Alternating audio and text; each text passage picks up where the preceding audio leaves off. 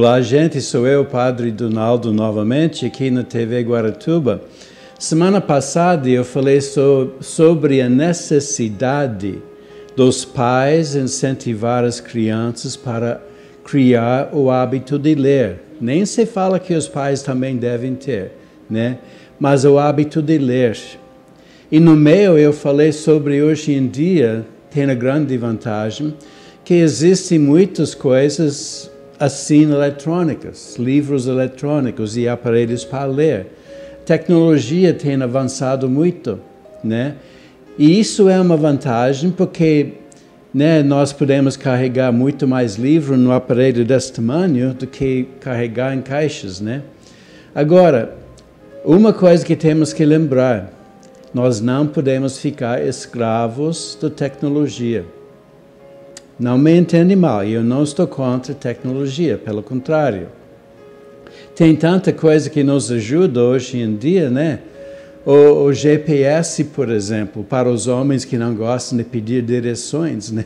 De perguntar onde que fica tal coisa. Agora temos GPS para ajudar a gente. Isso é um grande passo para frente. Carregar o celular. Antigamente, o telefone era só fixo na casa não podia carregar em lugar nenhum.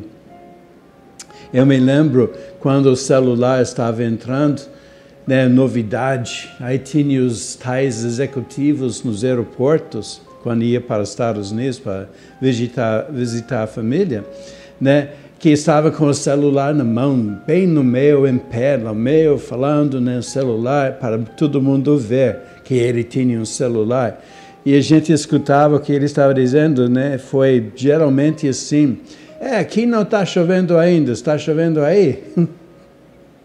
né? Estava só para mostrar que ele tinha. É aí que é a questão. Às vezes, nós usamos a tecnologia no sentido errado. A tecnologia é para nos libertar, nos ajudar fazer as coisas com mais facilidade. Mas às vezes as pessoas acabam ficando presos, escravos de tecnologia. A gente pode ver isso hoje com o celular, né? Tem tantos vídeos de alguém andando na rua com o celular e cai numa piscina, bate num poste ou outra coisa. Está tão ligado no seu nariz, basicamente, bem na frente, que não enxerga onde que está.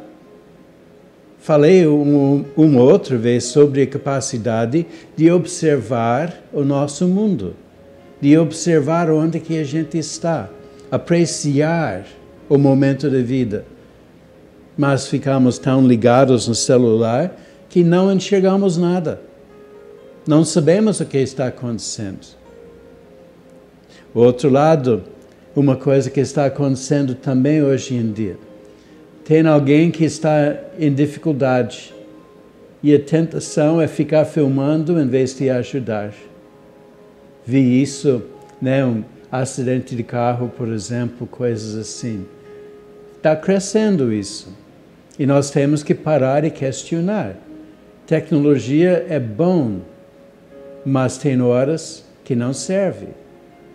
Por exemplo, na hora de emergência, alguém está precisando de ajuda e eu vou ficar olhando ou filmando no celular? Como que justifica isso? Nós ficamos escravos. Na janta, nos Estados Unidos agora é tão comum que na hora de jantar liga a televisão. E todo mundo fica, não liga assim, mas é assim, né? Aí todo mundo fica preso assistindo televisão e ninguém conversa. Nós podemos nos escravizar com a tecnologia.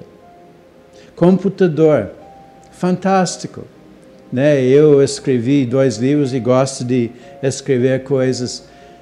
Sem o computador seria um trabalho tão chato escrever à mão ou bater na máquina de escrever e quando erra a letra tem que apagar e, e escrever a letra certa. Agora no computador só bate backspace, né? E tira a letra e põe o certo. Me, muito maravilhoso. mas também no computador tem os jogos. Os jogos que às vezes nos levam a gastar tanto tempo fazendo nada. Fazendo nada, basicamente. Por isso temos que ter cuidado com tecnologia. Nos ajuda, mas também pode nos prejudicar. Temos outros exemplos, né, de tecnologia moderna. Tanta coisa que tem as máquinas de tirar foto, né, são tão melhores. Antes era filme e era muito caro fotografia. Agora, hoje em dia, pode tirar quanto que você quiser, se não gostou, joga fora. Não perdeu nada, só um pouco de energia no, na máquina. E nós temos máquinas que têm um alcance muito grande numa máquina pequena. Antes tinha que ter lentes desse tamanho. Agora é uma máquina desse tamanho que podemos usar para tirar fotos com telefoto. Fotos da lua, por exemplo, de árvores, flores e tudo mais. Então, tecnologia nos ajuda. Nem se fala de saúde.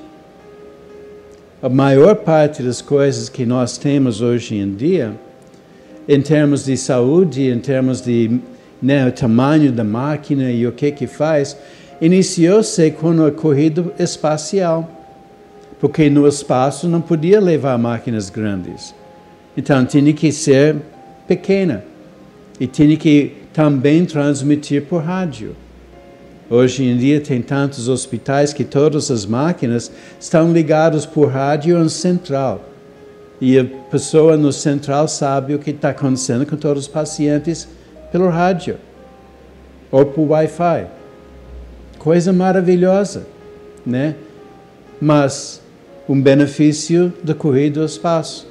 O próprio tamanho dos filmadores também foi reduzido por necessidade de levar só coisas leves no espaço, né, no espaço, porque era pesado. Então, nós temos muitas vantagens hoje em dia estão fazendo filmagem né, das ruas. Isso ajuda se tiver acidente.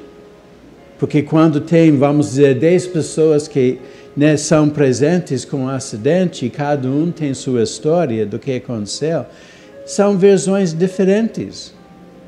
E como saber quem é que tem razão? Por isso é bom que tem filmagem, né? Tem o radar na rua, na estrada, que eu estou em favor, né? Porque se você está andando dentro da velocidade certa, não tem que se preocupar, né? Levar multa. Mas as pessoas que não obedecem, que correm, que abusam, aí eles merecem levar uma multa. Então, uma tecnologia que nos ajuda, né? E que muita gente xinga, acha injusto, mas é justo. A lei é para todos. Tecnologia nos ajuda a controlar, né? Tem os filmadores nas ruas. O perigo é que vai começar a investigar a vida de todo mundo. Já está começando. Tem um reconhecimento facial, né? Nos aeroportos está sendo usado por motivo de segurança. Elas filmam as pessoas no aeroporto e têm um reconhecimento facial e eles podem ver se tem alguém que é um ladrão ou se é terrorista. Mas nós né, podemos ser filmados sem nosso consentimento. Isso é um perigo para a sociedade que quer controlar o movimento de todo mundo. Em seu livro 1984, George Orwell tinha isso, a sociedade de Big Brother né? Não é o novela, coisa na televisão, pelo amor de Deus. O Big Brother dele é a sociedade que monitorava todo mundo cada hora. E a gente tinha que seguir o que o governo mandava. Isso é abuso de tecnologia. E ele previu isso quando escreveu o livro em 1984. E está acontecendo hoje em dia. Né? Para questão de crimes é bom, mas é questão né, de todo mundo ser arquivado, todo mundo né, ter sua imagem arquivada e todo mundo está presente e o governo sabe onde que está. Isso também não é tão bom e é um perigo, né? Porque pode ser usado para controlar. Tecnologias que nós temos hoje em dia, né, maneiras de pegar eletricidade, né, tem uh, tantas opções hoje em dia e estão entrando cada vez mais. Saúde, medicinas, vacinas. Agora usa robô para fazer cirurgia. Né? Isso é uma maravilha.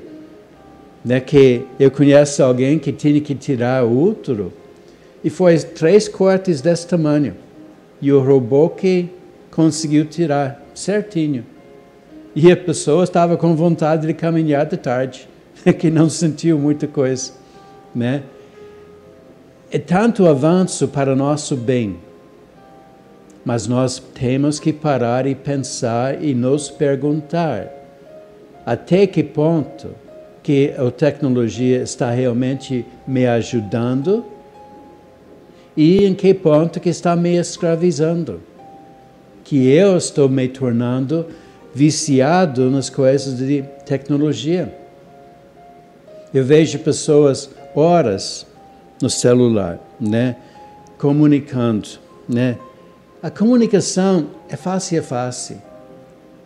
E ficando horas horas no, tele, no telefone, mandando mensagem, primeiro destrói a gramática, né? Que nem sabe mais qual é a palavra certa, como escrever certa, etc. E também passa horas enquanto que poderia estar junto com alguém conversando. Estamos esquecendo a arte de conversar, a capacidade de escutar mesmo outra pessoa, de estar presente com essa pessoa e no meio da conversa sentir sua presença, ler a pessoa e entender melhor a pessoa porque está presente. Isto é grande coisa, né? No, no celular tem que usar os emoticons, né? Aquelas coisas, emojis, para dizer se está feliz ou triste, porque só pela palavra não consegue saber. Então, tecnologia eu não estou contra. Pelo contrário, tem muita coisa que nos ajuda, sem dúvida nenhuma. O perigo existe, né? Nós podemos acabar nos escravizando na tecnologia e nos tornando né, instrumentos só para comprar cada vez mais coisa nova. Precisa de novo celular cada seis meses? Precisa gastar 3, 4 mil reais porque tem um novo modelo, estamos, estamos sendo escravizados para, pela tecnologia. Então, vamos pensar nisso, gente. Obrigado por sua atenção. Até a próxima vez. Goodbye.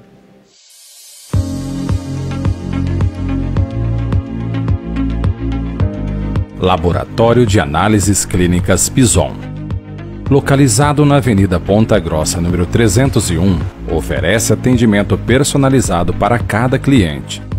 O laboratório conta hoje com a unidade ampla, adaptada, equipe especializada e os mais modernos equipamentos, agilizando todo o processo desde a coleta até a entrega dos resultados. Disponibilizamos também todos os resultados pela internet e realizamos coleta domiciliar.